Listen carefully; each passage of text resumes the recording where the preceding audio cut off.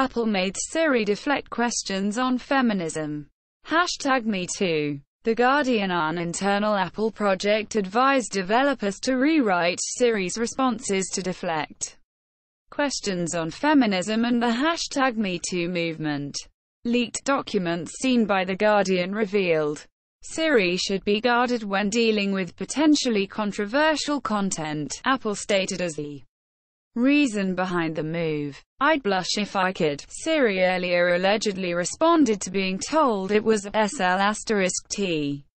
Delhi Airport starts three-month trial of face recognition entry system Delhi's Indira Gandhi International Airport on Friday started a three-month trial of facial recognition entry system for domestic passengers of Vistara Airline at Terminal 3, a Delhi International Airport Limited.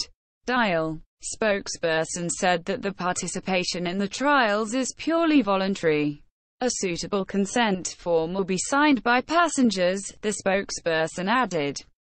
Yahoo Mail website faced six-hour global outage for some users. Thousands of global users took to social media to complain of Yahoo facing an outage across its services including mail and website for over six hours on Thursday. Acknowledging the issue, Yahoo apologized to its users and said that the cause for the same was a technical issue from its side. Most services are back online, it tweeted later. Indian viewers spend 70 minutes a day on video platforms.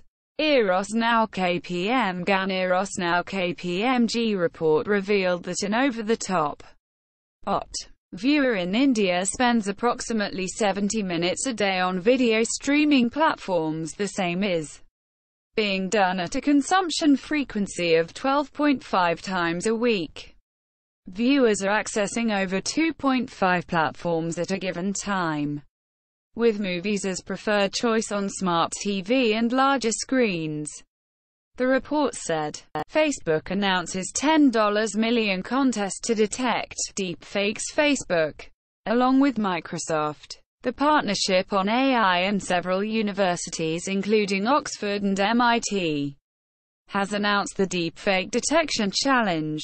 DFDC, to help detect deepfake videos.